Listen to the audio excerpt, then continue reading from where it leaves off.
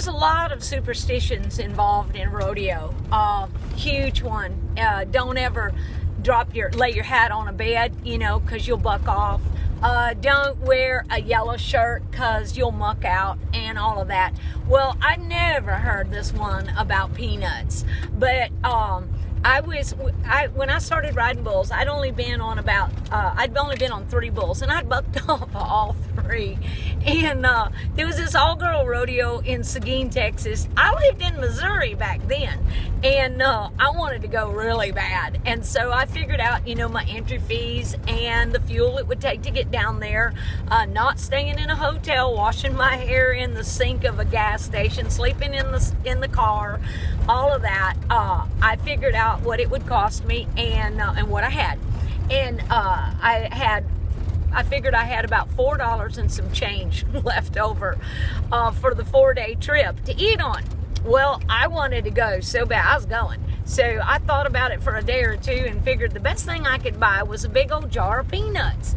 And I took a magic marker and I marked three marks on there. Uh, sectioned it off in four sections, you know, so that each day uh, I would only eat down to that mark. That was all the food I could get that day. And I figured that would give me, um, you know, the protein and stuff I needed uh, to be able to do that. Isn't that silly? Now I wanted to ride really bad. Uh, I, I, I, wouldn't do that right now. But anyway, I get down there, and uh, thank God I drew this young bull, and he was a chute fighting sucker. He had antlers. The boy had antlers on him. I'm telling you. Well, I tell you how long his horns was. They were long and straight.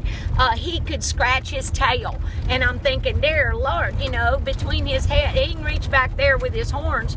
Uh, he can knock me off just with his horns. But he was knocking guys off the backs of the chutes and all of that. And but I already knew how to claim authority over them because the Bible says that we have authority over the beast of the field.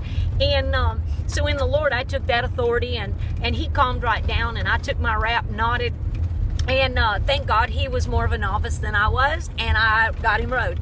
And I won the bull ride that weekend. So I'm packing up my gear, and these uh, young cowboys come by, you know, visiting with me and all.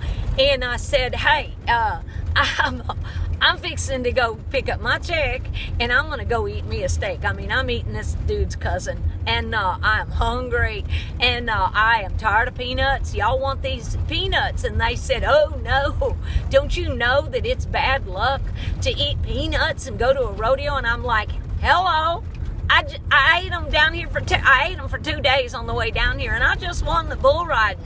And they're like, "Give me those peanuts." And they started fighting over them because they figured they was the lucky peanuts. I'm like, "You dipsticks!" I mean, come on. All right. The point is, I, when when I rode, I used to lay my hat down on a bed just to freak cowboys out.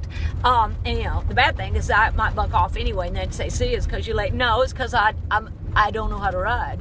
Um, but anyway, I used to wear a yellow shirt. I used to lay my hat down on the bed and all because I wanted to defy the mindset that a superstition can control your life.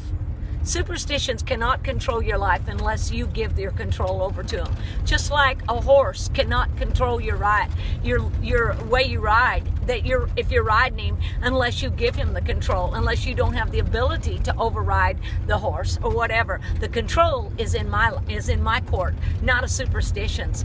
And uh, um, I knew that the Bible says that He would give His angels charge over me to keep me in all my ways.